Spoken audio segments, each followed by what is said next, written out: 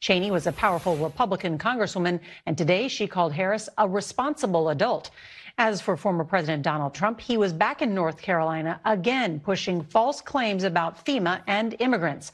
That's after he spent the weekend slinging a crude insult at Harris, engaging in lewd locker room talk about the late golfing legend Arnold Palmer, and staging a campaign stunt at a Pennsylvania McDonald's.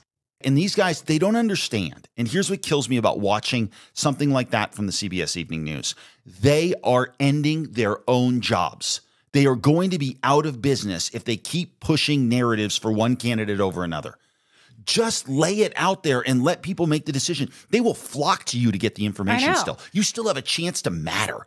But if you try to say you're going to think the way we want you to think, then you're going to lose. And that's exactly what's happening. Well, even like the CBS 60 Minutes show not releasing the transcript of the full interview with Harris, I don't understand that. Like, as somebody like they they've released plenty of transcripts, so I don't understand that when asked about that, then they just respond, "Well, Trump is allowed to come on our show. We've invited him. He's welcome anytime. That's not an answer to the question. So again, that speaks to them more than anything, more yeah. than Harris or Trump. It's like, don't you want to outlive, outlive both of them and their presidencies? Running, running.